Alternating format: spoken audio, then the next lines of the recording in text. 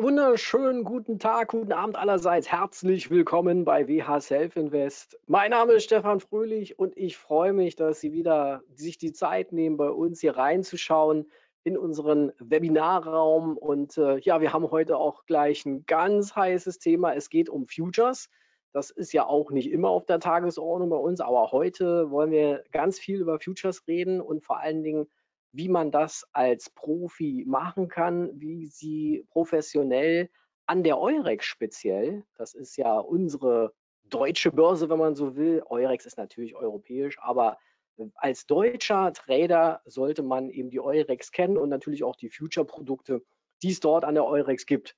Und ich habe mir heute einen wirklichen super Gast eingeladen und freue mich äh, unglaublich auf ihn heute, weil er ist äh, ja, schon öfters bei uns mit dabei gewesen. Er ist bei der Eurex äh, schon, äh, man kann schon sagen, Urgestein ist er, ja.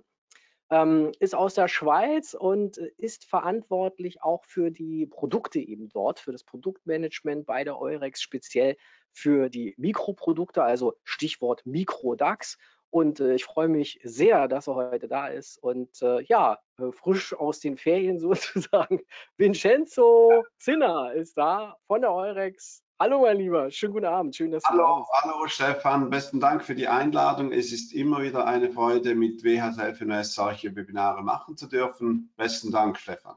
Super, ja, weil ich freue mich auch immer, weil wir immer so ein bisschen Insiderwissen äh, hier vermitteln können. Und das ist ja wirklich etwas, also wer sich für diese ganze Thematik mal interessiert, wer vielleicht auch noch am Anfang steht, mit sich mit Futures zu beschäftigen oder es auch schon tiefer tut, aber diese Informationen, die man hier und heute in der nächsten Stunde, so in circa 60 Minuten werden wir das ja hier machen, die, die, sie heute bekommen, das, das bekommen sie nirgendwo anders, weil es ist natürlich aus allererster Hand. Ja, also besser kannst du es nicht haben.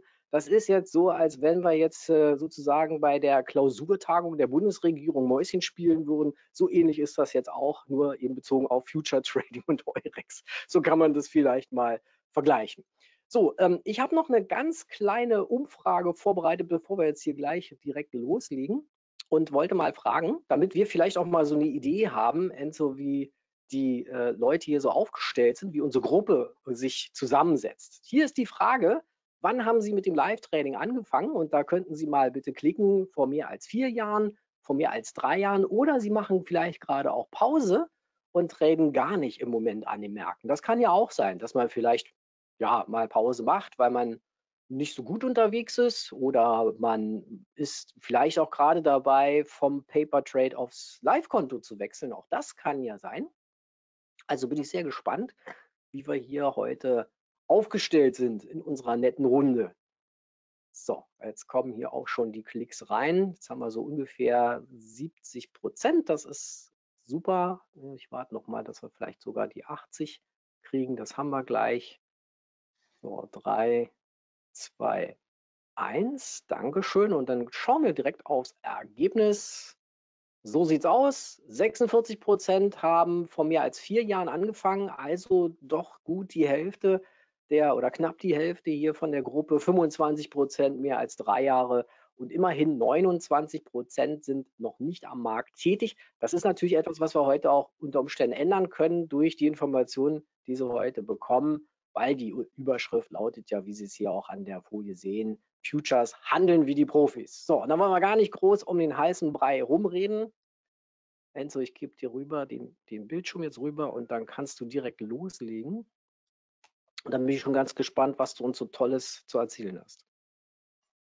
Besten Dank, Stefan, nochmals, dass ich da dabei sein kann. Und äh, danke auch Ihnen, dass ich da äh, Ihnen dieses Webinar zeigen kann. Wie Stefan gesagt hat, äh, die Eurex, äh, europäisch, äh, vielleicht wissen Sie, also die meisten habe ich ja gesehen, die, die, ihr tretet ja schon, schon länger. Also von dem her wisst ihr, was die Eurex ist. Sie ist die zentrale Gegenpartei aller Banken, also von dem her weniger Risiko oder kein Risiko gegenüber OTC. Weniger Risiko, nicht kein Risiko. Also wenn ich jetzt das äh, Ganze anschaue und dann denke ich, wenn 70 Prozent von Ihnen schon gehandelt haben, muss ich Ihnen Eurex nicht äh, näher erklären. Was ich jedoch äh, trotzdem gerne sehen würde, wissen Sie, wo wurde denn die Eurex äh, erfunden? War das in der Schweiz, in Deutschland oder in, in Österreich? Also wo das ist, ist, das ist etwas, wo ich sogar überlegen muss.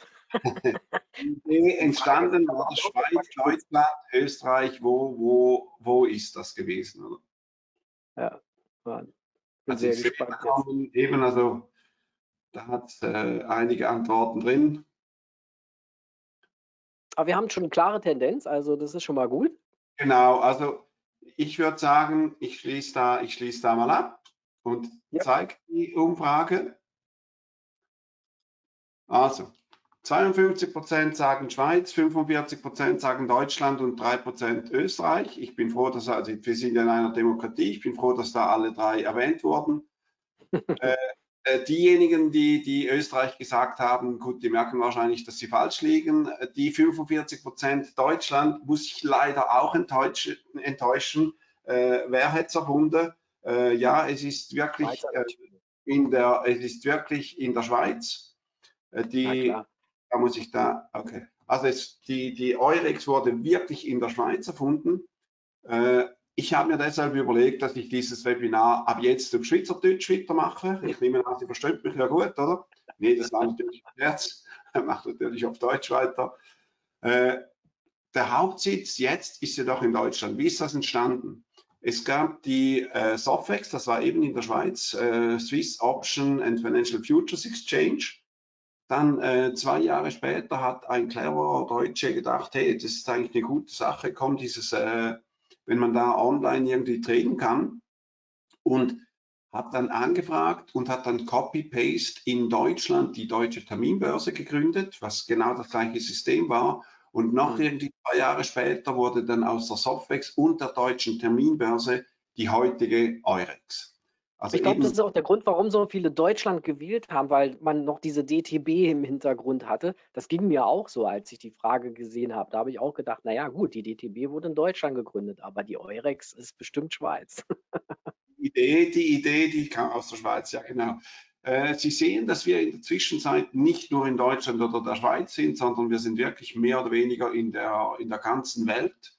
Äh, wir haben auch überall Offices, also ob das nun in London ist oder ob das nun in, also in Australien noch kein Office, aber wenn das, wenn äh, Hongkong, äh, Singapur und so weiter, da haben wir überall Offices. Und Ich war dem- sogar schon in welchen im Ausland. Ich war in Chicago zum Beispiel schon im Eurex Office. Damals war es übrigens noch Eurex US. Das gibt es ja heute nicht mehr. Genau, das ist natürlich jetzt alles, äh, alles gesamthaft heißt das jetzt äh, Eurex. Logisch, heißt natürlich, es gibt das US-Office und das London-Office, aber eben wie gesagt, gehört natürlich alles unter die Eurex äh, Deutschland, genau. Äh, wieso, wieso haben wir all das, oder? Es ist natürlich so, dass Sie sicherlich in der Zwischenzeit wissen, dass es nicht nur die äh, Schweizer oder deutschen äh, Handelszeiten gibt, also von 8 Uhr bis 5 Uhr, sondern äh, auch von 1 Uhr morgens, von, das ist die Asienzeit, oder eben bis 10 Uhr abends in, äh, in Amerika. Äh, wie Sie, also eben 70 Prozent von Ihnen handeln schon. Ich versuche da ein bisschen den Spagat zu machen zwischen denen, die handeln und denen, die nicht handeln. Äh, für diejenigen, die nicht handeln, der Handel in äh, Futures, der ist offen von 1 Uhr morgens äh, deutsche Zeit bis 10 Uhr abends äh, auch äh, deutsche Zeit. Also Sie sehen, Sie haben drei Stunden Schlaf, sollten genügen, wenn Sie den ganzen Tag handeln sollen. Jetzt, und jetzt natürlich Spaß beiseite. Äh, Sie sollten nicht den ganzen Tag handeln, weil leider ist es so, dass Sie teilweise den Erfolg haben, dann denken Sie, also, also komm, jetzt mache ich nochmals und dann geht es leider in die falsche Richtung. Also von dem her, äh, ich bin derjenige, der auch sagt, Gewinne äh, mitnehmen. Und bevor ich da vielleicht weitermache, eine Geschichte zu mir. Wieso sage ich das Gewinne mitnehmen? Jetzt, Stefan, du hattest gesagt, dass du das eventuell antönst. Ich nehme jetzt das äh, leider voraus. Äh, Stefan und ich, wir haben festgestellt, dass wir zusammen 80 Jahre äh, Bankerfahrung oder Derivate-Erfahrung haben äh, und zu zweit Unfassbar. 80 Jahre äh, Erfahrung zu haben, ist nicht so einfach. Also wir sind noch nicht bei den 90, also wir sind etwas drunter. Also von dem her wir, wir sind eigentlich geboren in der Bankderivate-Welt. Äh, was ich sagen wollte, im 1987, da war ich ganze 23, äh, da gab es noch keine Futures, aber sowas, sowas ähnliches. Und ich habe damals äh, mit meinen 10.000 Franken, die, die ich erspart hatte auf meinem Sparkonto, habe ich effektiv äh, 300.000 äh, umgesetzt. Also ich hatte Aktien für 300.000 äh, Franken. Das ging äh, gut bis zum 19. Oktober 1987. Ich weiß nicht, ob Ihnen das Datum irgendwas sagt. Ah, das kenne ich auch, aber hundertprozentig. Genau, der große Crash. Also das waren dann 20 Prozent in einem Tag. Naja, und es waren dann eben nicht 20 Prozent von den 10.000, sondern es waren dann 20 Prozent von den 300.000. Also ich war am Schluss irgendwie minus 55.000 äh, auf dem Sparkonto. Äh, das war, wie gesagt, nicht so lustig. Äh, das Gute ist, ich habe daraus gelernt. Oder was habe ich daraus gelernt? Risiken zu kennen, bevor ich die Gewinne sehe. Und das ist ein Tipp, den ich Ihnen heute gebe. Risiken erkennen, bevor Sie nur die Chancen sehen. Gehen Sie eine Strategie ein und wissen Sie, wieso Sie die Strategie eingehen, nicht einfach, weil Sie vom Hörensagen gehört haben, dass Sie jetzt Futures kaufen oder Futures verkaufen sollten. Gehen Sie Risiken ein, aber gehen Sie die eben äh, bestimmt ein.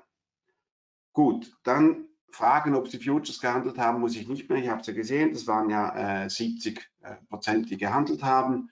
Also gehe ich da trotzdem ganz kurz schnell weiter und versuche kurz zu erklären, was Futures überhaupt sind.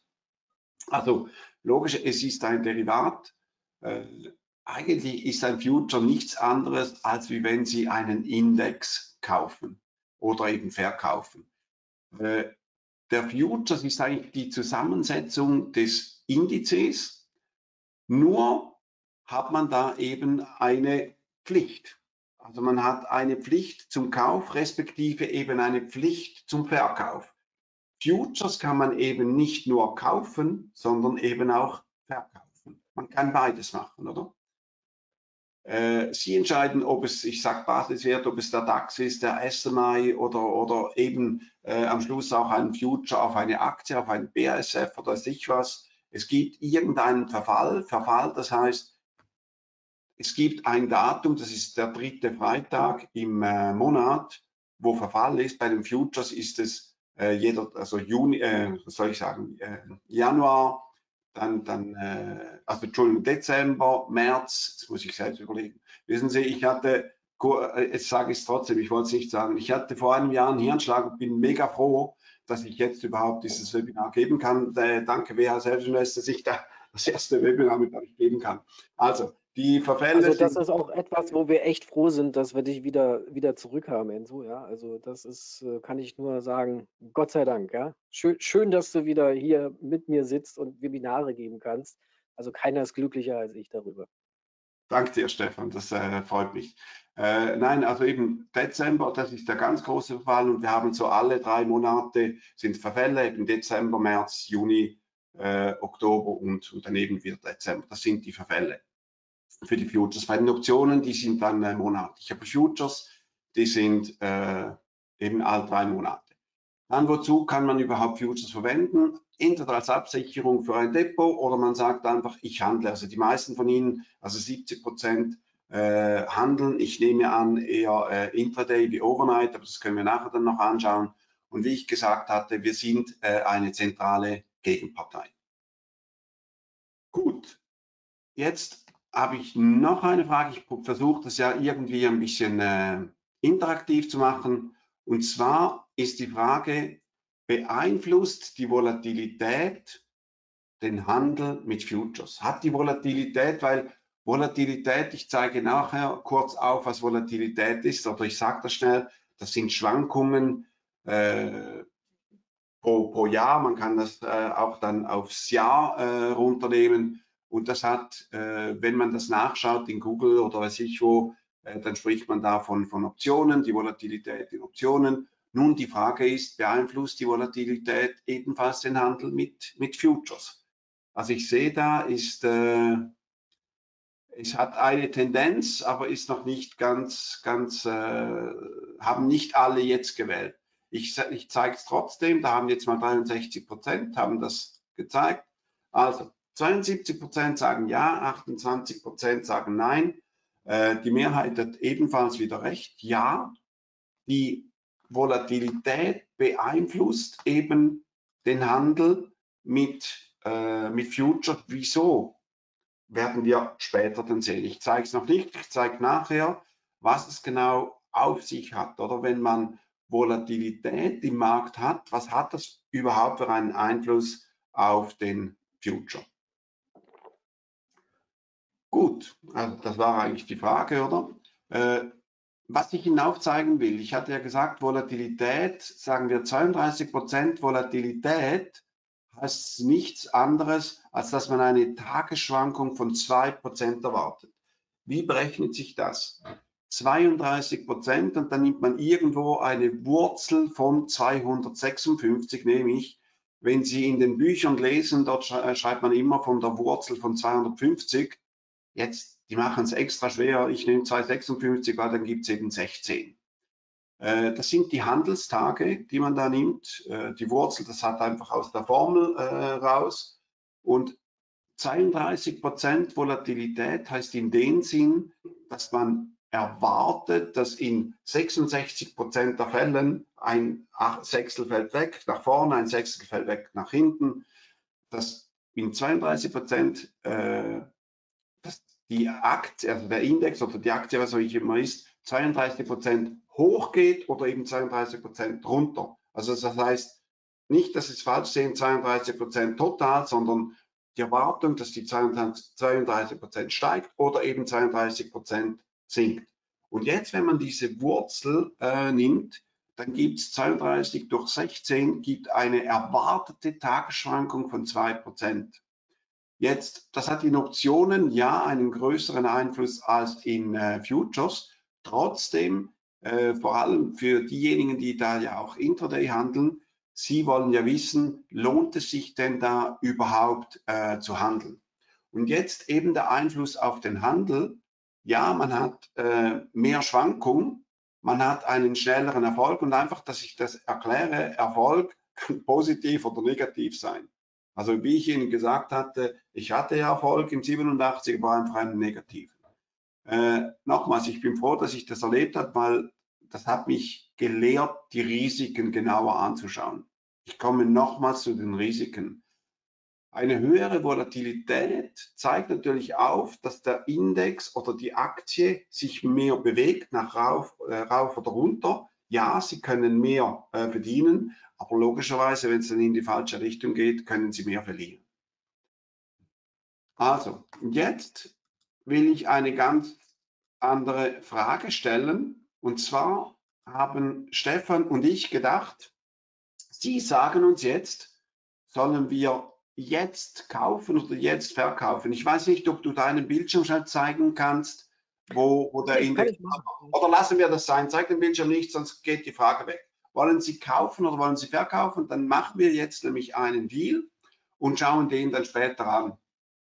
Klicken Sie irgendwas an, Sie können ja nicht falsch liegen, spielt ja keine Rolle, ist ja nicht Ihr Geld. Nee, ist unseres. ist eures, genau. Also gut, die also Tendenz ist da. Die Tendenz ist da. Reden Sie mal mit unserem Geld sozusagen. Genau, also Stefan, Stefan, 58 Prozent sagen verkaufen. Kannst du in der okay. Zwischenzeit, wo ich, äh, oder willst du zeigen, wie du es verkaufst? Oder soll ich da schon weitermachen und du verkaufst und sagst zu welchem Preis? Ich kann ja ganz schnell mal, ganz schnell Zeig mal zeigen, wie es geht. Das ist ja kein Problem.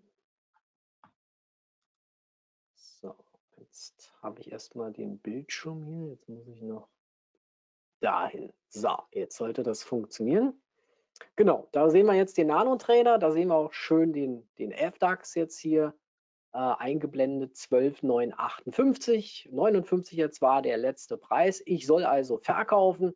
Ähm, und das mache ich dann auch direkt. Äh, und das Ganze dann auch im Prinzip direktement. Also zack, hier rein siehst du ein Market und ja, Day ist sowieso egal. Also und tschüss und dann sind wir auch schon drin und sind zu 12,952 jetzt ausgeführt worden und schauen mal, wie die Sache sich entwickelt. Ist der große DAX also 1,25 äh, 25 Euro natürlich. So.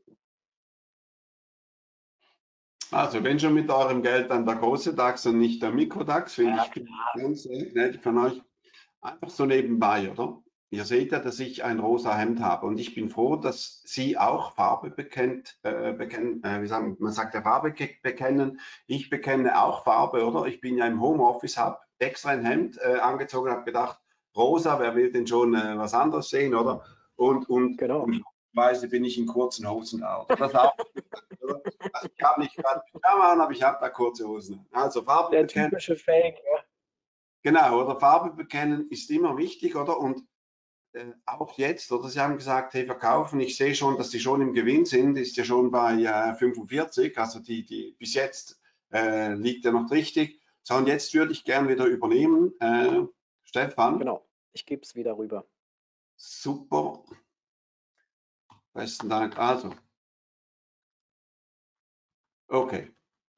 Äh, Jetzt ist er wieder weg. Voilà. Gut. Also, Sie haben jetzt verkauft, glaube ich, bei 52, hä? Bei 52 haben wir verkauft, exakt. Genau, gut, das merke ich mir mal, danke. So, dann, dann gehen wir weiter und jetzt sehen Sie hier drei schöne Kreise. Wir haben ja Microfutures und ich komme nachher darauf zurückgeben, was für die Kontraktgröße ist und so. Wir haben Microfutures auf den DAX, auf den Eurostox und auf den SMI. Äh, SMI ist der Schweizer Index. Wenn Sie da schauen, da hat es natürlich enorm große Titel. Also da im SMI, da hat es ein Nestle, Novartis und, und Roche, die je 17, 18 Prozent äh, schwer sind. Äh, das hat man im DAX äh, weniger und Sie sehen auch, eben hier ist Healthcare, ist vor allem 42 Prozent und 24 Prozent eben gut, das ist äh, Nestle, oder? Und hier sehen Sie in, in DAX das ganz was anderes und natürlich hier im, im Eurostox äh, ebenfalls, oder? Also einfach, dass Sie, dass Sie sehen, ja, Sie haben die Möglichkeit, irgendwas zu handeln. Jetzt einfach so etwas Kleines aus dem, äh, aus dem reellen Leben. Wir hatten Besuch und meine Frau hat gesagt, hey, ich, hat, ich habe Eis. Und dann fragt ein Gast, ja, was für Eis hast du denn? Und dann sagt meine Frau, ja gut, ich, meine, ich nehme an, die Erwartung ist dann ja Erdbeereis oder Schokolade oder weiß ich was. Meine Frau sagt große und kleine.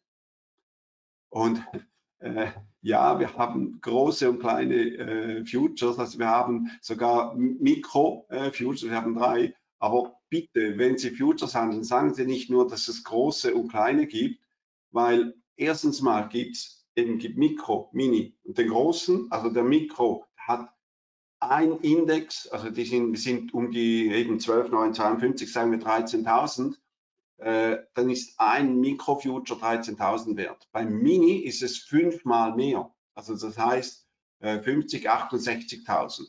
Und der große DAX, der F-DAX, der ist nochmals fünf, äh, fünfmal höher. Der hat Kontraktgröße 25.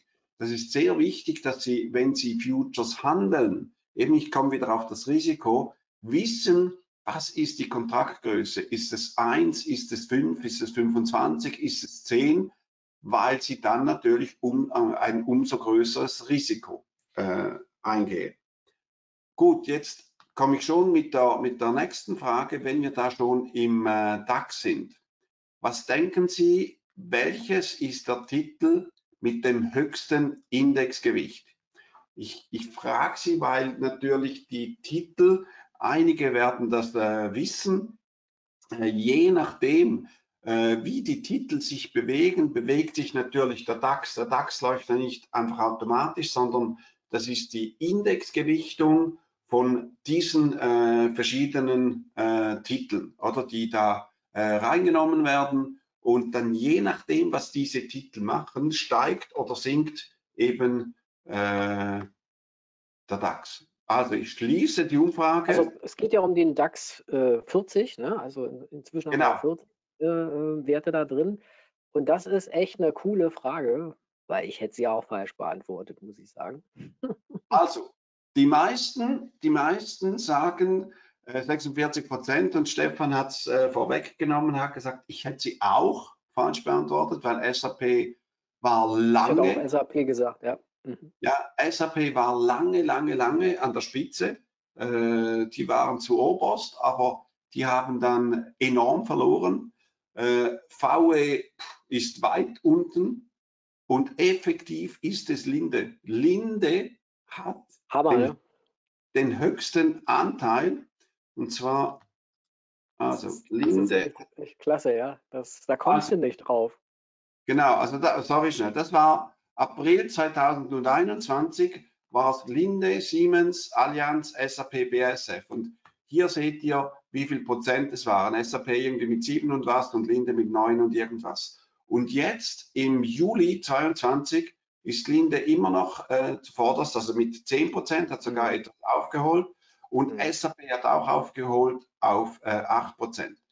Was ganz wichtig ist, du hattest ja vorher gesagt, es sind 40 Titel. Im April 21 waren es noch 30, 30 Titel. Ja.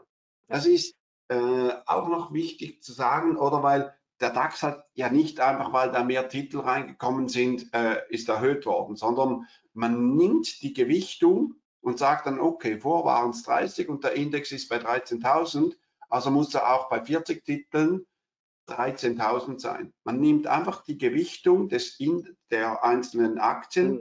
und zwar die Marktkapitalisierung, die offen ist. Also nicht diejenige, die, die nicht am Markt ist, sondern die Marktkapitalisierung, eben die Titel, die am Markt sind, die werden angeschaut und dann sagt man, aha, halt bin ich wieder zurück.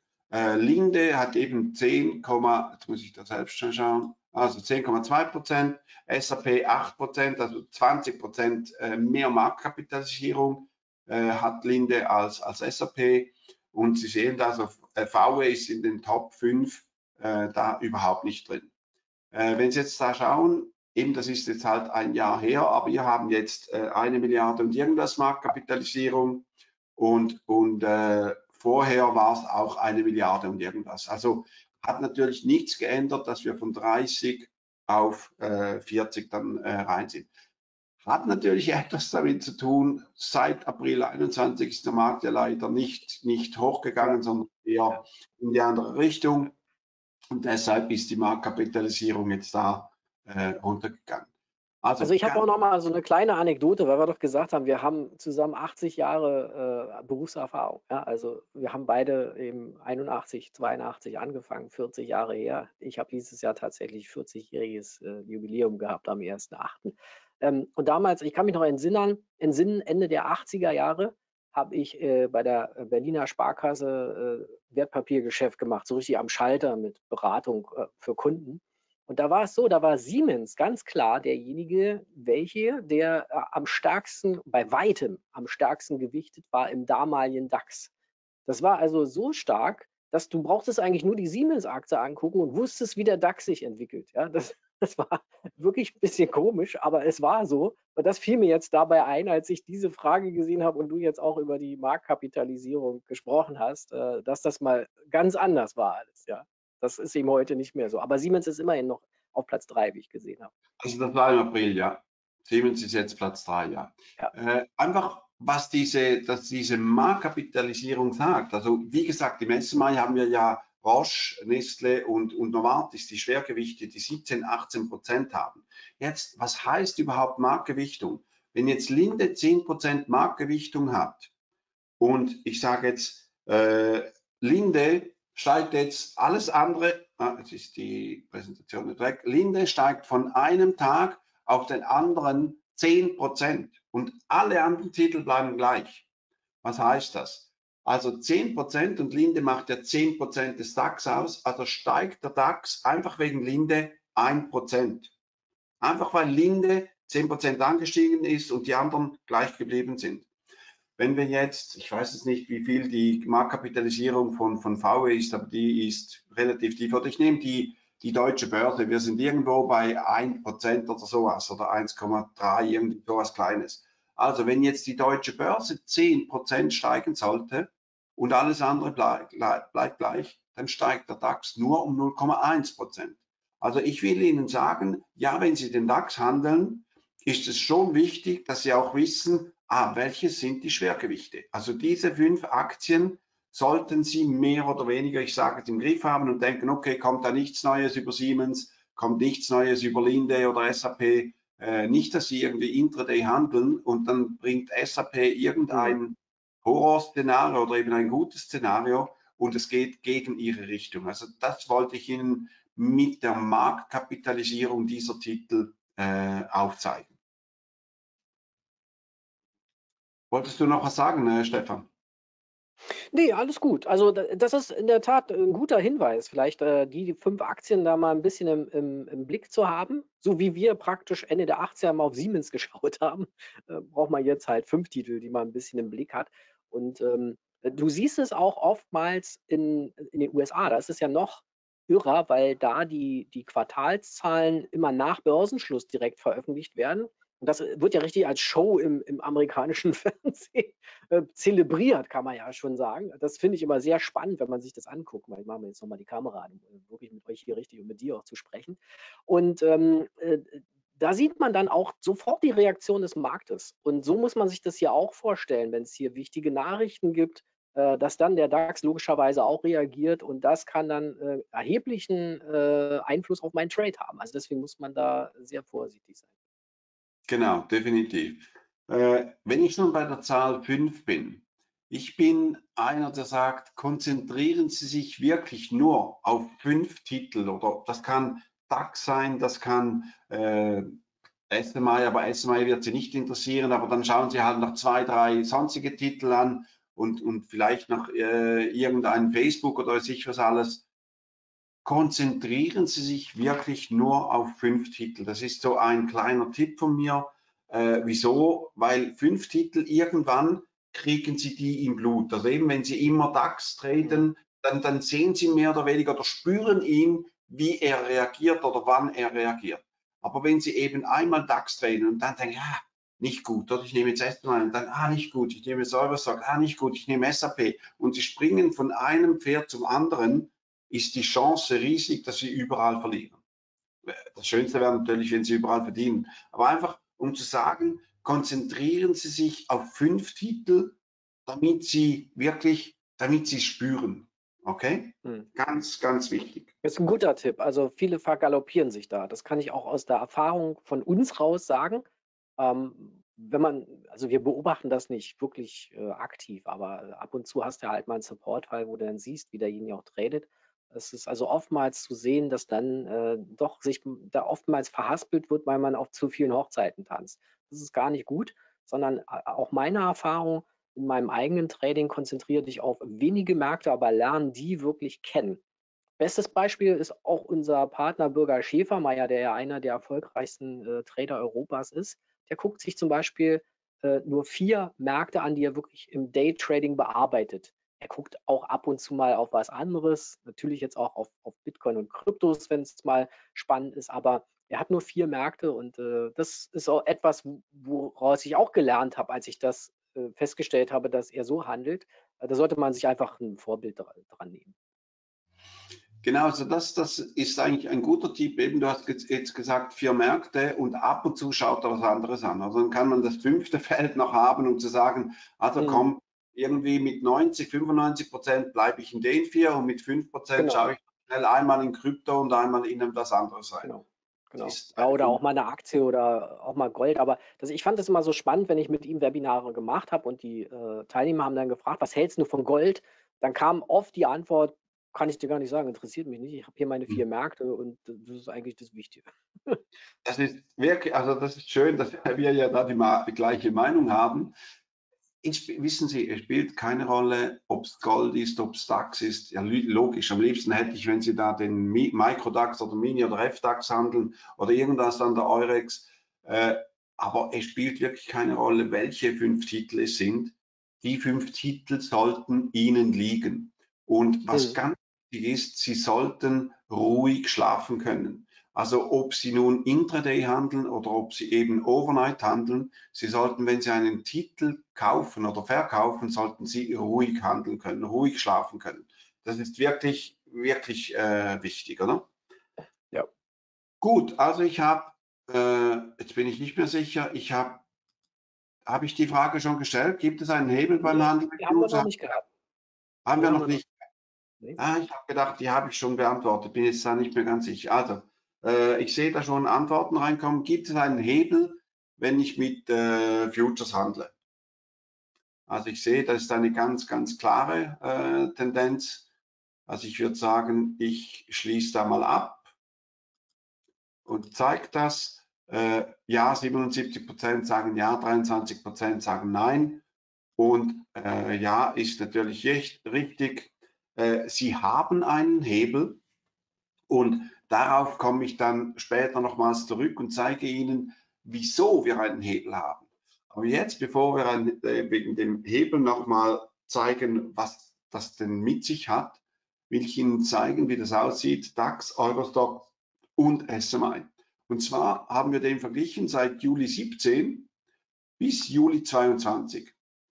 Gut, und jetzt der Fünfjahresvergleich zeigt da den blauen zu oberst, das ist der SMI, der Schweizer Markt, dann den DAX und dann den Eurostox. Äh, wenn wir jetzt hier schauen, den DAX eben, den fühlen Sie am besten, darum, darum nehme ich an, dass Sie eher diesen handeln als den, den SMI, aber eben SMI und Eurostox gibt es auch.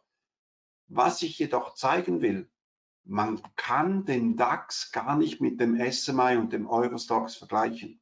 Wieso? Beim DAX werden die Dividenden reinvestiert. Also dort äh, auch wenn Dividende bezahlt wird, da bleibt der DAX beim gleichen Indexstand. SMI und Eurostox ist das nicht so. Jedes Mal, wenn eine Dividende bezahlt wird, dann fällt der SMI respektive der Eurostox. Und jetzt nicht, dass Sie auf die Idee kommen, oh super, dann schaue ich, wann Dividenden bezahlt werden in der Schweiz, vor allem eben da die großen Roche, Nestle und Novartis, um Verkauf am Tag vorher. Das ist natürlich im Future-Preis schon längst äh, drin. Also der Future-Preis, der, wenn die Dividende genau die Dividendenpunkte verliert, die, also der, die Aktie genau die Dividendenpunkte verliert, die sie verlieren sollte, dann ist das so und dann ist der Future schon längst so eingepreist. Der Index fällt, aber der Future-Preis natürlich nicht, der bleibt. Was ganz wichtig ist, eben ich habe gesagt, dass die Dividenden einberechnet werden im DAX, also sie werden reinvestiert würden wir jetzt diese gleiche Grafik anschauen und sagen, aha, aber die 3% Dividendenrendite des Eurostocks und des SMI müsste man hier noch dazu zählen, dann würde es hier nicht minus 13, minus 9, minus 8 oder hier 5, 8 und 6, sondern es wäre sogar noch mehr. Oder? Weil beim DAX, der hat 5% zugelegt pro Jahr und der Eurostox, wenn man die Dividenden reinnimmt, 11 Prozent pro Jahr oder der SMI 9 Prozent pro Jahr. Oder wenn man eben die fünf Jahre anschaut, wo wir ja das 2018 drin hatten, äh, da ist es 2, 4 und 7 Prozent. Einfach, dass Sie sich dessen bewusst sind, wenn Sie eher langfristig handeln. Für Intraday spielt das überhaupt keine Rolle. Für Intraday spielt das null äh, Rolle. Okay? Gut, wichtig, wichtig, dass Sie das äh, verstanden haben. Also gehen wir schnell zu WH Self Invest. Wie sieht es denn aus bei WH Self Invest? Ich habe gesehen, dass 70 Prozent da von Ihnen handeln. Wie hoch ist da die Intraday-Marge für den äh, Microdax? Ist sie 320 Euro, 640, 1260 oder 12.800? Wie viel ist da die, die Marge. Sie können irgendetwas anklicken, spielt ja keine Rolle. Ich sage Ihnen dann, was, was richtig ist. Also ich sehe eine Tendenz, ist noch nicht da, doch jetzt hat es eine Tendenz gegeben. Mhm. Also schließen wir das schnell. Genau. Also, äh, ich zeige Ihnen die Ergebnisse. 43 Prozent für 320 Euro, 30 Prozent 640 und so weiter. Also die richtige Antwort ist 320 Euro äh, für den Mikrodax ich spreche von Intraday Margin. Das heißt, wenn Sie äh, jetzt kaufen und in zwei Stunden wieder verkaufen oder eben wenn Sie morgens um eins kaufen äh, und abends um, um, ich weiß nicht, wann ihr den Cut macht, um 9 Uhr äh, dann wieder verkauft, dann ist die Marge effektiv. Äh, 22 Uhr ist unser, äh, ist, also bis, bis kurz, wer bis 22 Uhr hält, ist alles okay und danach ist dann der Cut sozusagen. Gilt für genau. alle Märkte. Ah, okay, bis 10 noch, sehr wichtig. Also ganz mhm. wichtig, beim Microdax sind es 320 Intraday und jetzt eben um 10 Uhr abends wird es dann jedoch umgeschaltet von 320 Euro Marge auf 1600 Euro Marge. Exakt. Was ist denn überhaupt die Marge? Also Sie haben ja gesehen, dass der Index bei 12.952 ist und Sie bezahlen dafür jedoch nur 320.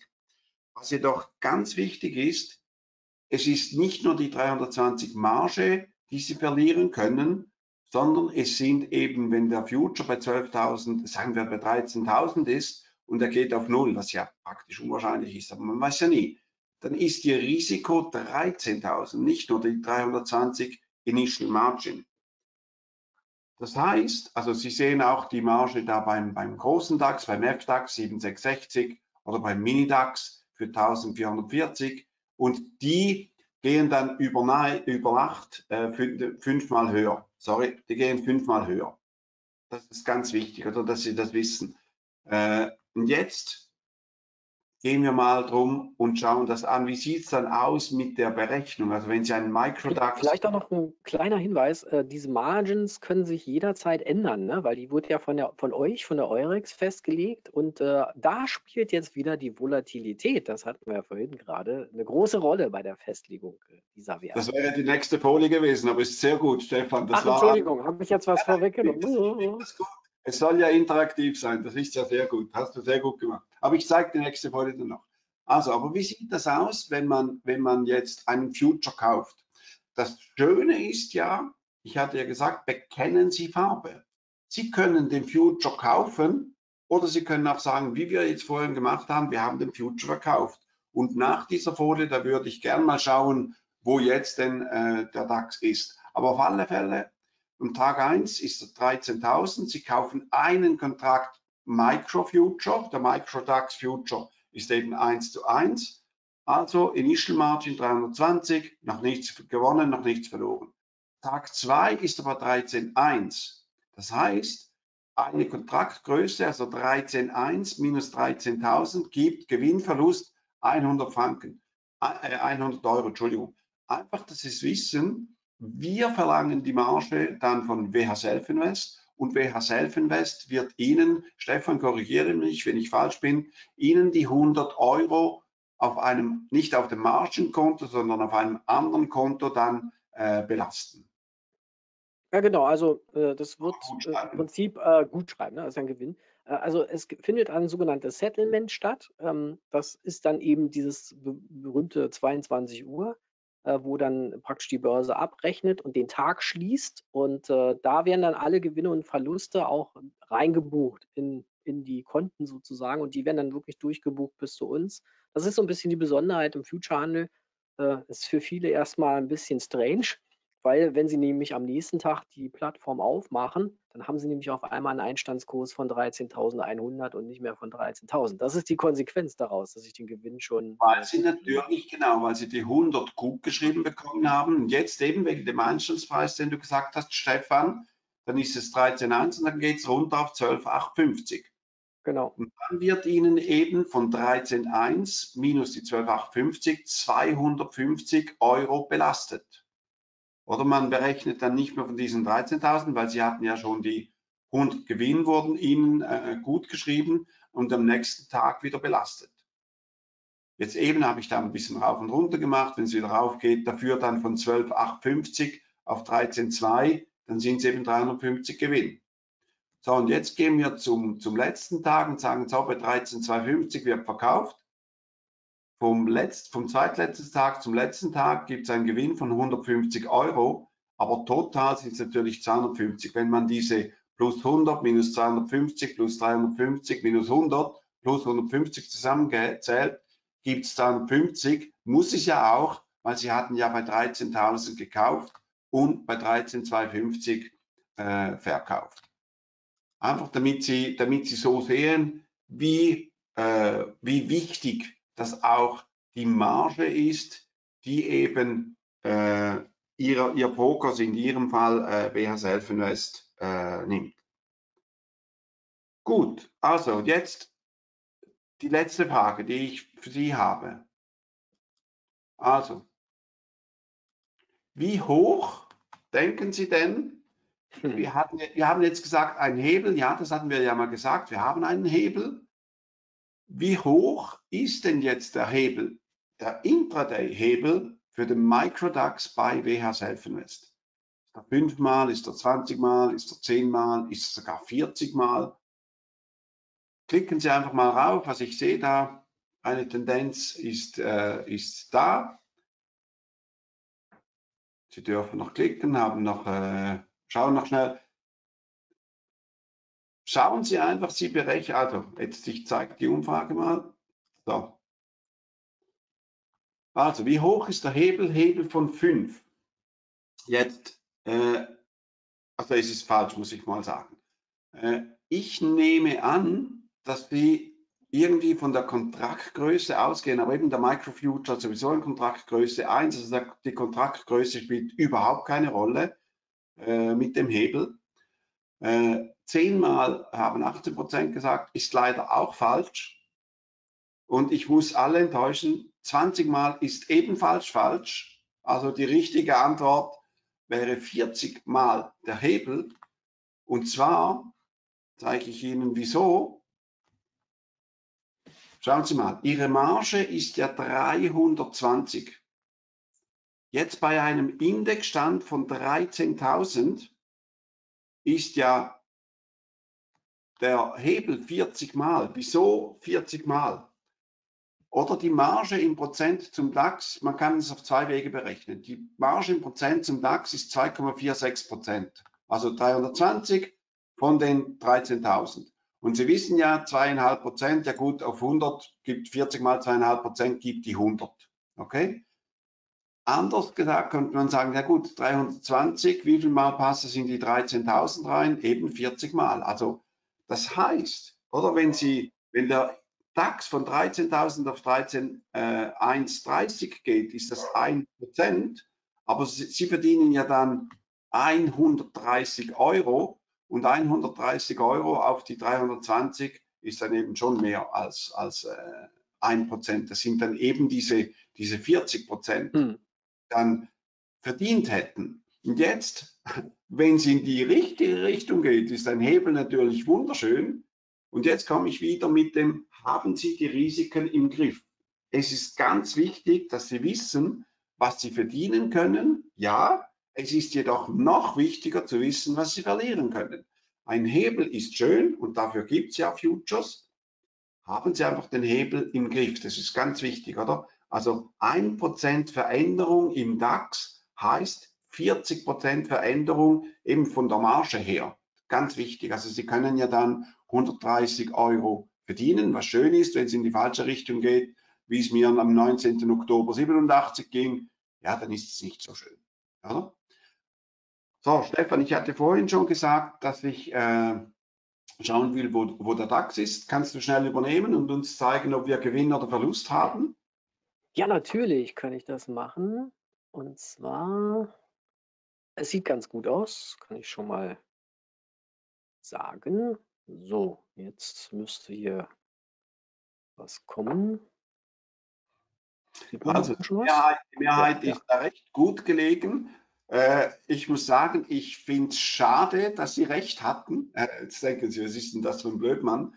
Äh, ja, ich finde es auch schade. wieso wieso finde ich schade? Weil eigentlich hätte ich gern gehabt, wenn es jetzt einen Verlust gegeben hätte. Wieso? Wenn Sie Futures handeln, dann schauen Sie nicht einfach eine halbe Stunde weg. Wenn Sie Futures handeln, dann schauen Sie den Futures an respektive WH Self-Invest hat da gute äh, Ordermöglichkeiten, wo sie Let the Profit Run and Cut the Loss haben, wo sie, äh, man sagt eben One cancels the other, äh, wo sie sagen können, okay, bei irgendwie bei 30 Punkten Gewinn verkaufe ich oder eben bei 10 Punkten Verlust oder 15 Punkten. Die Verlustpunkte sollten immer weniger sein wie äh, die Gewinnpunkte, ganz wichtig. Jetzt in diesem Fall, wir hatten da Glück, Wobei, wenn ich jetzt da schaue, ja gut, ja, du hast wirklich, du hast wirklich top, wir haben top gefragt und die Antworten kamen natürlich top, sehr gut. Aber wie gesagt, also wenn Sie, wenn Sie Futures handeln, äh, wenn Sie wirklich wegschauen wollen, weil Sie, weil Sie halt äh, arbeiten müssen oder sonst was, dann setzen Sie eine dieser Limiten. Kannst du schnell zeigen, äh, Stefan, wie man Ja. so eine Limite zum Beispiel setzt? Ja, das geht also ganz einfach. Und zwar das äh, alles Entscheidende ist, dass wir, erstmal die Maus haben, hier, so jetzt sieht man die, dass man hier oben äh, schon Stop und Target im Prinzip äh, eingesetzt hat. Also oben links äh, ist das in meinem Chart zu sehen. Und dann kann ich das auch über einen einfachen Mausklick sogar äh, hier einstellen. Ja, also kann das direkt im Chart verändern. Da brauche ich also gar nicht großartig irgendeinen Dialog aufmachen. Das ist sehr einfach. Und dann gibt es hier oben dieses kleine Kästchen, das nennt sich deaktiviert. Das heißt, dass dieser Stop und Target, den ich da jetzt gesetzt habe, nicht aktiv ist, sondern der ist erst aktiv, wenn ich ihn aktiviere. Und zwar über diese Funktion Trade Guard Auto Order. Und ich mache das mal direkt on the fly. Ich kann das direkt auch, wenn ich es vergessen haben sollte, vor dem Trade zu machen, weil das wäre sinnvoller gewesen, das jetzt vor dem, vor dem Einstieg zu aktivieren, weil dann würde Stop und Gewinnziel sofort gesetzt werden, sobald die Position eröffnet ist. Wenn ich das im Nachhinein mache, dann berechnet er es vom Einstiegspreis jetzt also diese 30 Punkte, nämlich von der, äh, Quatsch, vom aktuellen Preis, Entschuldigung, nicht vom Einstiegspreis. Das wäre, wenn ich es vorher gemacht hätte, wenn ich es jetzt mache, bei den 40 eben, wo ich gedrückt habe. Und deswegen äh, stellt er jetzt den Stopp auf 68 und äh, das Target auf 08. Und hier sieht man auch sehr schön, dass das Ganze ähm, submitted, also an, im Orderbuch der Börse liegt. Und äh, wenn eine jetzt der beiden Orders ausgeführt wird, dann wird die andere automatisch gelöscht. Das ist genau das, was du gerade gesagt hast. One cancels the other. Genau. Äh, einfach, ich würde den, den, äh, also die Verlustzone kleiner machen als die Gewinnzone. Also Klicktarget nach Ja, ja, unten. klar. Ja, klar. 30 Mhm. Punkte finde ich gut. Äh, Click-Stop äh, würde ich irgendwie bei 10 Punkten setzen, oder? Also wir Jetzt sind zum- auch hier unten noch, ne? Du hast hier äh, einmal das aktuelle Ergebnis und du siehst jetzt hier, unser Risiko wäre jetzt noch 400 Euro, wenn der Stopp gerissen wird und das Target wäre 1100. Und ich kann das Ah, jetzt hier einfach mal ein bisschen runterziehen. Hast du 30 und 10 gemacht in dem Fall? Ah, super. Weil ich dachte, es sei So, guck mal, 30. jetzt, jetzt, haben wir, jetzt haben wir 75 zu 1100. Äh, das ist sogar richtig stark, weil hier unten ist ja mein Konto und dann sehe ich hier bei RRR, Risk Reward Ratio, dass wir jetzt ein Chance-Risiko-Verhältnis bei dieser Art und Weise von 14,67 haben. das ist richtig gut. Das ist doch gut. Aber eben das ist, das ist natürlich schön, weil natürlich der Index schon unten ist und du schon Genau. welchen Betrag hast jetzt. Ich habe jetzt 525 Euro, bin ich jetzt, oder sind wir, muss ich ja sagen, sind wir jetzt im, im Plus, weil Sie haben ja gesagt, was ich machen muss. Genau. Einfach, das ist nicht vergessen. Gewinne sollten auch mal mitgenommen werden. Und Mhm. ich sage das nicht gegen Eurex oder nicht gegen WH Selfinvest. Nehmen Sie auch einmal Gewinne von Ihrem Konto weg und buchen Sie Ferien oder kaufen Sie sich sonst was. Genießen Sie irgendwie das Geld, das Sie verdient haben, weil dann sind Sie wieder happy und WH Selfinvest und wir sind auch happy, wenn Sie wieder handeln. Wenn Sie einfach das Geld drin lassen und dann irgendwie blöderweise verlieren, dann ist es nicht so schön. Also Gewinne sind schön, logisch. Und wenn Sie daraus noch etwas machen, also wenn Sie Ferien buchen können am liebsten oder wenn Sie sonst irgendwo was, sich was Kleines gönnen, das, das äh, ist schon besser, ist schon gut. Absolut. Also ich würde vielleicht auch noch mal ganz kurz in die Runde fragen wollen, weil wir jetzt so ein bisschen die Plattform gezeigt haben, was die so kann. Ähm, und die kann ja noch, noch ganz andere tolle Sachen, aber das ist so die Grundfunktionalität, dass ich hier, wie man ja sieht, wirklich das Risiko genau ausweisen kann, dass ich das genau im Griff habe, wie mein Chance-Risiko-Verhältnis ist, wie mein aktueller Trade. Auch hier sieht man sehr schön unten. Ne? Ich habe nur noch so ein bisschen rot, aber das ganze grüne Feld, das große grüne Feld, also da ist noch viel mehr Profit jetzt drin. Ne? Und der äh, schwarze Pfeil geht immer schön nach rechts. Wenn das passiert, ist das eigentlich gut. Also wenn Sie da mehr wissen wollen und äh, Sie haben Interesse an einem Plattform-Coaching und Sie sind vielleicht noch kein Kunde bei uns, dann kann ich Sie nur ermuntern, klicken Sie jetzt auf Ja und äh, schreiben Sie mir mal die Telefonnummer in den Chat rein. Dann kann ich mit Ihnen Kontakt aufnehmen, weil dann können wir ein Plattform-Coaching vereinbaren und äh, ja, ähm, dann können Sie auch auf die Schnelle bei uns Kunde werden und dann äh, auch relativ schnell mit dem Nano-Trader äh, Futures handeln bei uns zukünftig, genauso wie ich es eben gemacht habe und sich dann vielleicht auch über die, jetzt sind wir gerade mit 600 Euro im Plus, vielleicht dann auch über 600 Euro im Plus freuen. Super. Ich danke Ihnen, dass Sie Chat, mitgemacht äh, haben. Jemand dein privater Chat, oder nicht, dass da jeder die Nummer sieht, oder? Äh, die, die, äh, den Chat sieht sowieso keiner. Also das heißt, Sie können in den Fragen-Chat jetzt reinschreiben und das kommt nur bei mir an. Also das ist äh, völlig datenschutzrechtlich unrelevant sozusagen. Oder konform. Sehr gut. Nee, also das sieht keiner jetzt. Alles gut. Prima, dann sage ich mal 3, 2, 1 und danke. Und dann sind wir da auch schon wieder. genau, cool. Also, äh, wie gesagt, äh, Futures, also wenn Sie die Futures handeln, wirklich entweder dranbleiben oder eben diese, diese, diese Limits da setzen, wo, wo Sie wirklich sehen, hey, äh, wenn es raufgeht, dann, also wenn es in die falsche Richtung geht, dann, naja, dann was soll's, oder? Und wenn es in meine Richtung geht, dann, dann geht es auch. Also das ist ja. eine Möglichkeit des Stops.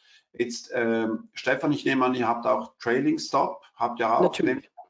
Also ein Trailing Stop. Also, du kannst sogar jetzt hier direkt draufklicken auf den Stop und dann hast du hier deinen Trailing Stop, den du direkt äh, erteilen kannst und dann, dann, dann äh, läuft der nach. Also Trailing Stop heißt ja immer, dass der Stop nicht fix bleibt, so wie er jetzt. Jetzt, wenn ich jetzt nichts mache, bleibt er bei der 55 einfach und beim Trading Stop äh, misst er praktisch den Abstand zwischen aktuellem Preis und dem Stop. Und wenn dieser dann eine bestimmte Marke erreicht und größer wird der Abstand, dann zieht der Nano-Trader automatisch den Stop wieder zu dem Abstand, den ich eingestellt habe, äh, nach. Und damit ähm, zieht sich sozusagen die Schlinge auf der Verlustseite immer weiter zu. Das heißt, der Verlust verringert sich sukzessive, je weiter der Markt in den Gewinn geht bis er denn sogar den Einstandspreis erreicht, wo ich dann gar kein Risiko mehr habe. Das ist immer das Schöne am Trainingstop.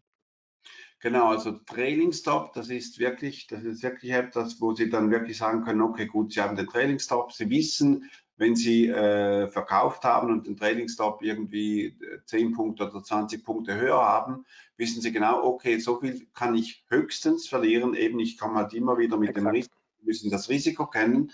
Äh, Geht es aber runter und runter und runter, dann äh, zieht den, den Trainingsstopp eben von 12,955 auf 12,945, 35 und so weiter und so fort. Und dann, wenn es dann hochgeht, dann ist er dann halt bei äh, 35 oder irgendwo weg. Aber ein Trainingsstopp finde ich, finde ich sehr sinnvoll, weil äh, jetzt sind sie ja 500 Euro im Gewinn und, und äh, es wäre ja dann blöd, wenn dann irgendwo ich sage jetzt, der Index jetzt dreht und Sie hätten äh, diese 500 äh, Euro gehabt und dann nicht. Also wie gesagt, es gibt mehrere Optionen. Also das ist eine äh, Option, die Sie gut anwenden können. Äh, die andere Option ist eben der Trading Stop, wo Sie sagen, okay, wenn es dann äh, in meine Richtung geht, dann lasse ich es laufen. Sie haben sicherlich schon gehört von Let the Profit Run and Cut the Loss. Das können Sie natürlich mit diesem Trading Stop äh, gut machen, dass Sie den Gewinn laufen lassen und den Verlust minimieren. Und wieso sage ich, dass Sie entweder den Trailing Stop oder eben diesen äh, Stop, den Stefan da eingegeben hat, mit äh, äh, den ich ihm ja gesagt habe, Tage bei 12,98 und Stop bei 12,955, weil einen Verlust reinzunehmen, da komme ich wieder, bekennen Sie Farbe. Sie sind falsch gelegen. Sie haben zwar den richtigen Titel ausgewählt, aber eben die falsche Richtung. Also, Verluste mitnehmen ist schwierig, muss man jedoch, wenn man nicht mehr Verluste haben will. Das ist ganz wichtig. Der erste Verlust ist meistens der kleinste Verlust. Okay? Absolut, ja. Das kann ich, noch, noch, kann ich nur beipflichten. Danke. Willst du noch etwas zeigen oder darf ich übernehmen? Ich würde noch eine Sache ganz kurz zeigen. Ähm, und zwar haben wir ja jetzt äh, gesehen, wir haben verschiedene DAX Futures an der Eurex. Ne? Mittlerweile haben wir ja drei DAX Future. Ich war ja bei der Geburt des Mini-DAX dabei. Da war ich ja wirklich direkt vom Start. Als der erste Tick reinkam, hatten wir ein Webinar damals. Das war eine tolle Sache, kann ich mich jetzt noch daran erinnern. Und das war auch, auch ein echtes Highlight, dass wir endlich einen DAX hatten mit 5 Euro pro Punkt und nicht mehr mit 25 Euro pro Punkt. Also mal was Kleineres auch für unsere äh, Retail-Kunden. Und äh, jetzt haben wir ja sogar den Mikro. Und was, was, wir, was ich ja jetzt noch hier kurz vorbereitet habe, und das will ich noch mal ganz kurz zeigen, weil ich das so spannend finde, ist ja hier die Markttiefe sozusagen von allen dreien. Äh, weil ich kriege so oft die Frage gestellt, ja, kann ich denn die Mikrodax wirklich handeln mit einem Euro pro Punkt? Ist das wirklich fair bepreist und, und funktioniert das und so? Ich kann da die Bedenken durchaus verstehen, weil der ein oder andere vielleicht auch schlechte Erfahrungen gemacht hat mit dem Over-the-Counter-Geschäft, also dem außerbörslichen Geschäft. Aber hier sind wir an der Eurex, hier sind wir in Orderbüchern, hier sind wir im kontrollierten Handel, ja, an einer wirklich renommierten Börse. Und schau dir das an, wie parallel diese drei Märkte, das sind jetzt die, drei Orderbücher, sogenannte Level 2, ne, vom FDAX, vom Mikro und vom Mini. Und guck dir das an, wie parallel die laufen. Das ist einfach ein Traum, ja. Und auch wie liquide die sind. Ja, das, das ist ja auch irre. Also, wenn man mal schaut, ganz links der FDAX, äh, das sah auch nicht immer so liquide aus, wie er jetzt ausschaut. Äh, der ist auch liquider geworden, sogar durch die beiden anderen. Ähm, und das finde ich ist, ist bemerkenswert. Also was da passiert und was, die was der Eurex da gelungen ist, mit im Prinzip konkurrierenden, in Anführungsstrichen, konkurrierenden äh, Kontrakten eine solche äh, Liquidität hinzubekommen, wie man das ja nennt in den Orderbüchern. Ich finde das sensationell. Ja. Das ist wirklich eine tolle Leistung auch von euch. Danke für die Blumen, Stefan. Ja, also Sie sehen ja links ist ja der FDAX, Kontraktgröße 25, dann in der Mitte der Minidax, Kontraktgröße 5 und rechts der Mikrodax, Kontraktgröße 1. Also Sie können am Schluss entscheiden, welcher passt Ihnen am besten. Äh, logisch, bei Mikrodax können Sie natürlich kleinere Size handeln. Sie können auch äh, beim Minidax müssten Sie von 1 auf 2, also das wäre ja dann beim Mikro von 5 auf 10. Da können Sie auch sagen, Sie wollen 7 äh, Mikro äh, kaufen oder verkaufen. Mhm. Also von dem her äh, kommt darauf an, äh, ja, welche, welche Idee und wie viel Marge Sie aufwenden wollen. Äh, dann können Sie wählen zwischen Mikro, Mini und eben dem FDAX. Und nicht, wie meine Frau gesagt hat, es gibt nur kleines und großes Size also da gibt es kleine Size, große Size und noch kleinere Size plus äh, kaufen oder verkaufen ist ja, äh, was soll ich sagen, Erdbeer oder Schokolade. Und dann kommt noch die Investition, ist sie Intraday oder ist sie eben Overnight? Oder weil Overnight hat dann natürlich eine, einen anderen Leverage, hat nicht den Leverage 40, den ich vorher gesagt habe, weil ja die Overnight-Marge fünfmal höher ist. Also ist irgendwie äh, achtmal wahrscheinlich dann der, der Leverage. Müsste eigentlich so sein, wenn die Marge ja fünfmal höher ist. Ja, also was auch noch eine Rolle spielt, du hast das ja vorhin so schön gezeigt mit den 40er äh, Hebel 320er Intraday Margin. Und äh, das ist erstaunlich. Wir haben hier eine Margin nur von 2,46 Prozent. Beim CFD müssen wir ja 5 Prozent Margin nehmen. Das heißt, du hast locker mal die doppelte Margin zu hinterlegen, um ein CFD außerbörslich zu handeln im Vergleich zum Mikrodax an der Eurex. Also auch nicht unerheblich, kannst weniger Kapital einsetzen hier. Ne? Ja, und ist natürlich so, dass wir bei der Eurex, Sie sehen ja immer den besten äh, Geld- und Briefkurs. Ja. ist ja nicht nur einer, der stellt, sondern das sind ja 10, 20, Hunderte, die da stellen, die da Geldbrief machen und eben da sind sie nicht angewiesen auf jemanden der stellt.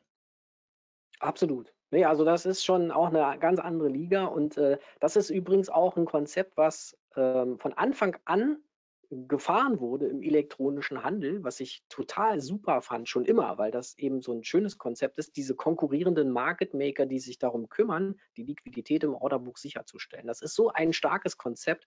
Und da muss ich mal sagen, weil viele ja sagen, oder der, der Begriff Market Maker ist ja leider Gottes negativ besetzt, eben durch äh, entsprechende Geschäftsmodelle bei äh, äh CFD-Brokern. Ja, da ist ja der Market Maker eigentlich was Schlechtes, weil er meistens im Interessenskonflikt zum Kunden steht. Hier ist es aber was Gutes, weil hier sind mehrere Market Maker am Werk, die verbindliche Geld- und Briefkurse stellen im Orderbuch, also wo sie dann auch entsprechend ausgeführt werden müssen und äh, äh, dadurch, dass das eben in Konkurrenz zueinander passiert, hast du immer die Gewähr, dass du immer den besten Kurs wirklich bekommst für den einzelnen Markt, wo du tradest. Super Konzept. Danke dir, Stefan. Gut, ich dann sehe, kannst du jetzt weitermachen. Ich, ich habe noch ein, zwei äh, Folien, wenn ja, ich gerne, gerne. schnell zeigen darf. Ja, klar. Here we go. Here we go, sehr gut. Danke dir. Ah, also über drei. Haben wir auch noch ein, zwei Fragen, die machen wir auch noch. Keine Sorge, also noch dranbleiben. Das ist doch sehr gut. Äh, ich konnte den Bildschirm irgendwie nicht übernehmen. Hat nicht geklappt. Moment. Doch, jetzt da ist er. Alles klar. Okay. Gut. Dank dir. Also wir waren hier. Das hast du jetzt gerade gezeigt. Äh, vielleicht schnell die Entwicklung, logischerweise da im Februar, Teil, äh, März, äh, als da der Krieg losging, hat es natürlich mehr Volumen gehabt. Aber Sie sehen, dass äh, im Micro, also problemlos 25, 30 Kontrakte, 30.000 äh, Kontrakte pro Tag äh, gehandelt werden. Und vor allem ist es eben der, der Mini-DAX im SMI und im Eurostox hat es da ein bisschen weniger Volumen, aber ist vor allem im, im Mini-DAX oder Mikro-DAX jetzt hier, hat es am meisten Volumen. Hier vielleicht noch das erklärt. Was heißt das? Im äh, DAX hat es 24 Prozent Kunden, die handeln äh, und 63 Prozent sind Market Maker. Die stellen äh, halt Geldbrief und wie du richtig gesagt hast, Stefan, ah. äh, die schauen natürlich den großen DAX an und handeln hier und, und äh, hedgen sich dann mit dem, mit dem Großen. Ah, das ist auch spannend, ja. Okay. Das, das genau. wusste ich auch noch nicht. Wieder was gelernt. Genau, aber die Preise, die du ja gezeigt hast, die, da hat man ja gesehen, die sind wirklich äh, identisch. Ja, ja. Gut, ja, das ist in Zeiten des elektronischen Handels und der Arbitragemöglichkeiten auch eigentlich unvorstellbar, dass die auseinanderlaufen. Das geht gar nicht, genau. weil sofort genau. der Arbitrage einsetzen würde. Ja. Genau. Also ich hatte da den Kurs am 31. Juli angeschaut, da waren noch 13,472, jetzt sind wir ja bei 12,9 irgendwo. Äh, also Sie sehen, das ändert schnell. Äh, ich hatte Ihnen schon gesagt, äh, die Handelszeit ist von 10 nach 1 bis 22 Uhr. Nur SMI ist von 8 bis 22 Uhr. Ich gebe Ihnen einfach wirklich nochmals den Rat. Also handeln Sie nicht den ganzen Tag. Wenn Sie nach drei Stunden den Gewinn haben, den Sie eigentlich erreichen wollten, erreicht haben, dann hören Sie auf und, und machen Sie was anderes und, und schauen Sie am nächsten Tag wieder rein, weil Gewinne kommen und Gewinne gehen wieder, oder? Und man sollte einfach wirklich, wenn man erstens mal eben das Risiko anschauen und Gewinne auch mal mitnehmen und, und sich was Schönes äh, leisten. Gut, ich komme dazu zur Zusammenfassung, bevor ich dir das Wort darüber gebe, Stefan. Äh, wir mhm. haben gelernt, dass ein Microfuture eine Kontraktgröße von 1 hat, was ich jetzt hier nicht gezeigt habe, aber Sie haben ja gesagt, wir sollen verkaufen, also Futures können auch verkauft werden, bevor sie gekauft werden. Also äh, das hat Stefan ja für Sie jetzt äh, so erledigt.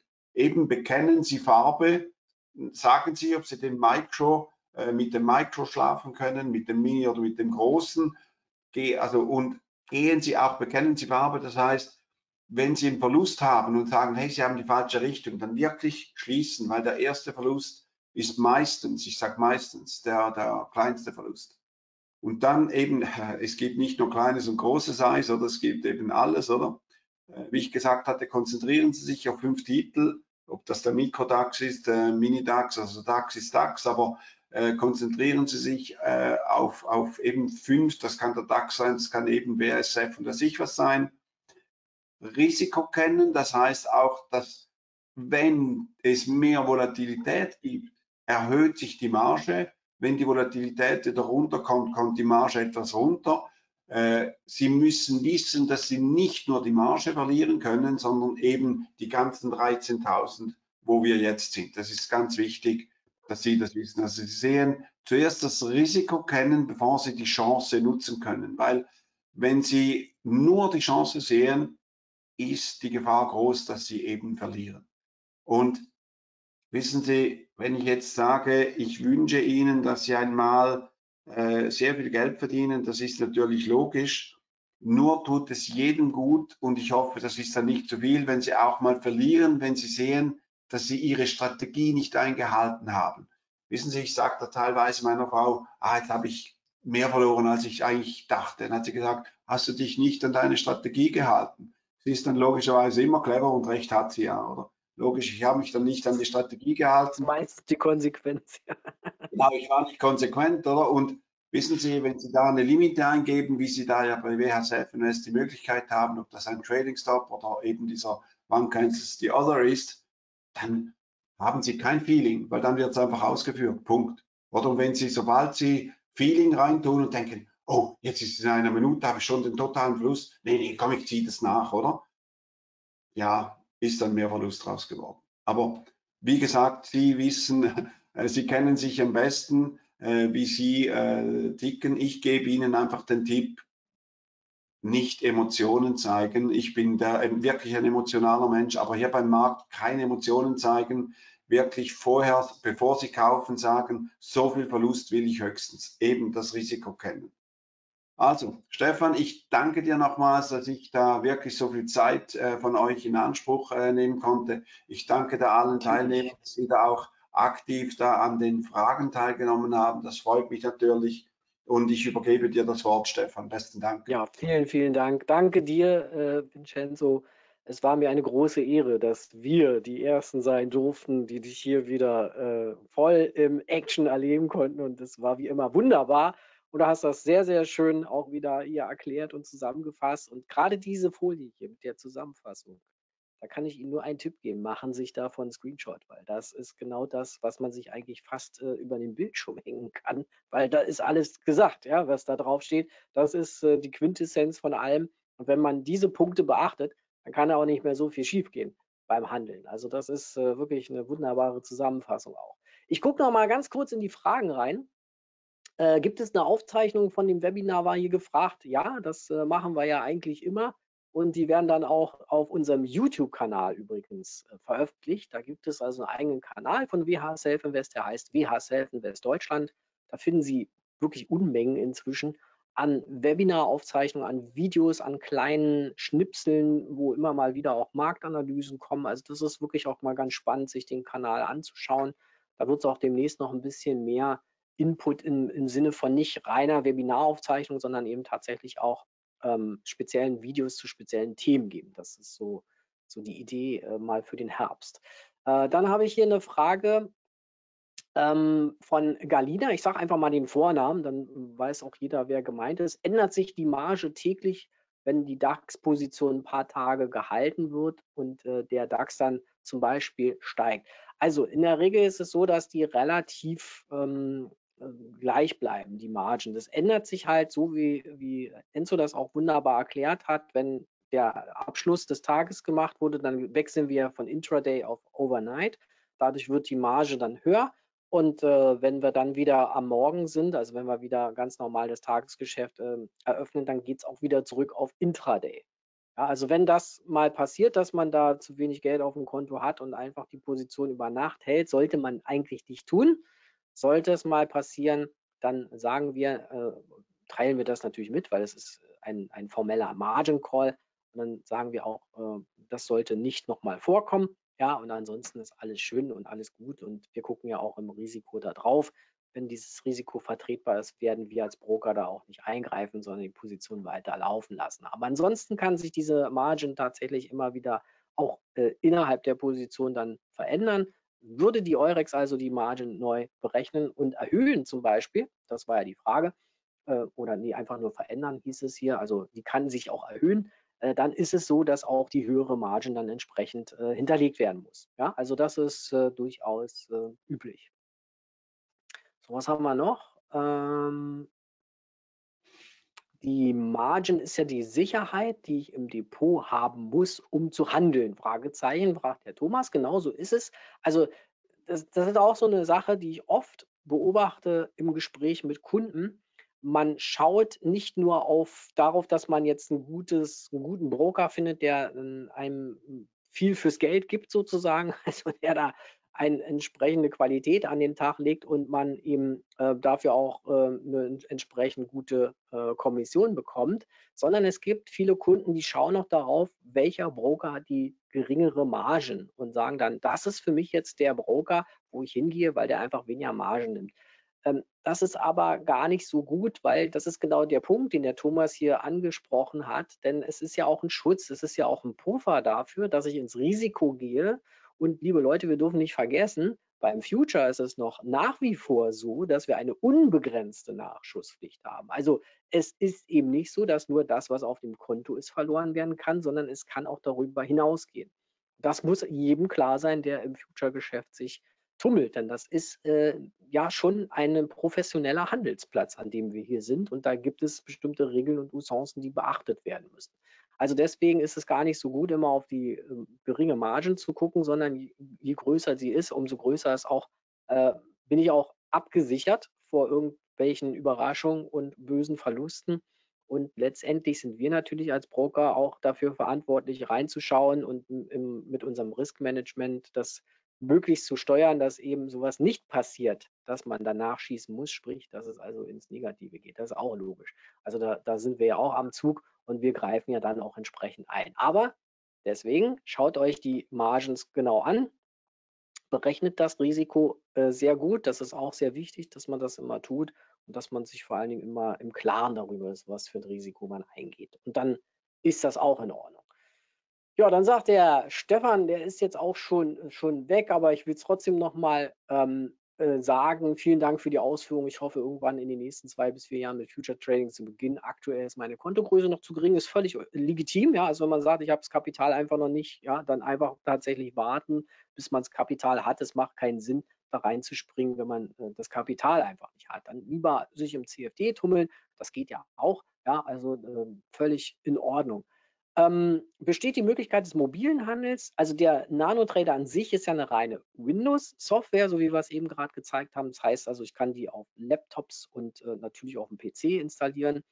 Was aber auch geht, ist, es gibt ja inzwischen auch von Microsoft Tablets, die voll mit Windows ausgestattet sind. Das ist diese Surface-Reihe. Da kann man den Nano dann auch drauf installieren und dann sogar äh, mit sich rumtragen. Ja? Also das wäre eine Möglichkeit, was man machen kann. Das zweite ist, dass es eine, äh, einen Zugang von CQG selber gibt. CQG ist ja derjenige, welcher, der uns mit den Daten direkt von den Börsen versorgt und über den dann die ganze Abwicklung erfolgt von den Orders und über den die Ordererteilung und Ausführung läuft. Und die haben auch eine eigene mobile Lösung, die nennt sich CQG Mobile. Die gibt es immer kostenlos bei allen, für alle Future-Konten und Kunden dazu. Ja, also auch darüber kann man handeln, ist eigentlich auch ganz äh, komfortable Geschichte, also auch die Möglichkeit besteht. Ja, wir achten da mal sehr drauf, dass man in den heutigen Zeiten auch mobil ist. Und Thomas sagt nochmal, nie ohne Stop-Loss handeln. Richtig, wir haben es eigentlich falsch gemacht vorhin. Wir sind einfach in den Markt gegangen. da kam auch gleich der Kommentar, hey, wo ist der Stop-Loss? Ja, das fand ich sehr, sehr gut, dass das gleich angemahnt wurde und äh, völlig richtig und in Ordnung. Und der Nano-Trader ist da übrigens so schlau und erinnert Sie auch noch daran, wenn Sie eine Position eröffnen möchten und haben zum Beispiel den Trade Guard noch nicht aktiviert, äh, dann kommt da so eine kleine Meldung und sagt, ist das denn jetzt so richtig, dass du hier ohne Stopp äh, agierst und den Trade Guard nicht aktiviert hast? Äh, auch diese kleine Meldung haben wir uns mal gegönnt und die hat ja auch ihre Berechtigung. Finde ich gut, ganz dann haben wir jetzt, ja. Entschuldigung, finde ich ganz gut, dass Thomas das äh, so Klar. gesagt hat, sofort, als wir den Trade gemacht haben. Äh, deshalb habe ich ja dann später gesagt, ich hätte eigentlich gehofft, dass wir einen Verlust machen, ja. äh, weil eben der Stop-Loss oder eben dieses One Cancels the Other gefehlt hat. Ganz, ganz gute Frage. Aber das gut. war super, dass sie alle reagiert haben. Das fand ich schon sehr gut. So Leute, ich kann sagen, wir sind kurz davor, ins Tage zu laufen. 1100 war unser Profit. Also äh, wir sind jetzt genau bei 1000. Ja, also es fehlen äh, noch ein paar Pünktchen vier und dann haben wir es, dann haben wir den, den, den äh, Maximaleffekt hier rausgeholt und haben tatsächlich äh, das Profit Target erreicht. Und das wird dann auch wunderbar ausgeführt und dann haben wir sogar das Mega CAV hier gemacht. Also das ist wieder so typisch. Ja. Wir haben einen, einen, super Trade hingelegt und wollten eigentlich mal zeigen, dass äh, auch das Gegenteil passieren kann, dass man da sehr vorsichtig agieren soll. Aber so ist das. Ja, das ist äh, der berühmte Vorführeffekt einfach.